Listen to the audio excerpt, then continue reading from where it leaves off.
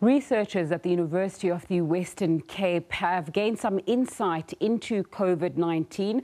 I'm now joined on the line by Peter van Heusden, who is a researcher at the South African National Bioinformatics Institute at the University of the Western Cape. Thanks so much for your time on SABC News this afternoon. Please explain to us, in very simple terms, what genome sequencing is and what your research did to get insight into COVID 19.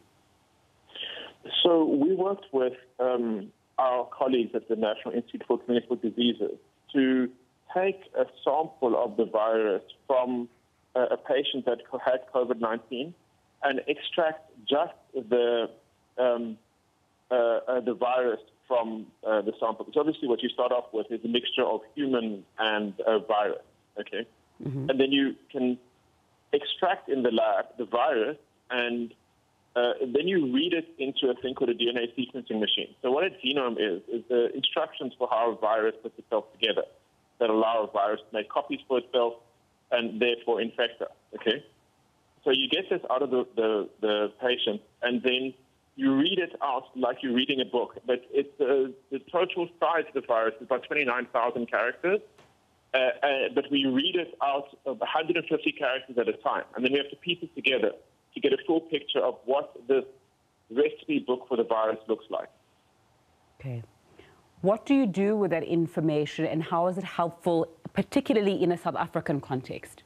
Okay, so the, as the virus is transmitted from one person to the next, it uh, accumulates small changes.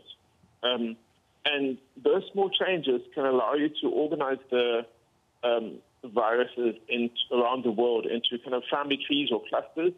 So then you can actually start seeing um, who is actually infecting who.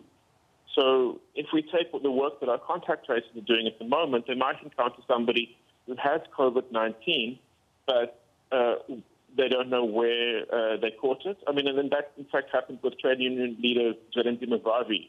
He got sick, but he had no idea where he actually picked up the virus. So then if we look at the pattern of differences in the virus from one particular patient and then compare it to other patients, we can start getting a better picture of how the virus is spreading around the country and around the world.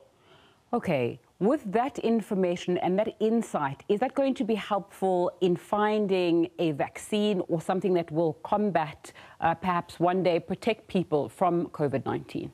Yeah, so, so when we're looking at vaccines, we have to look at the global population of viruses and see which bits are changing and which bits are staying the same, because you want to target the bit that stays the same with um, the stable bit uh, with your vaccine. Okay, so it works against all um, COVID-19. And also, when you are looking into treatment, then you have to understand how does this virus work. Viruses build proteins, these little kind of molecular machines to do what they need to do. So your treatments are going to interfere with some parts of the virus life cycle.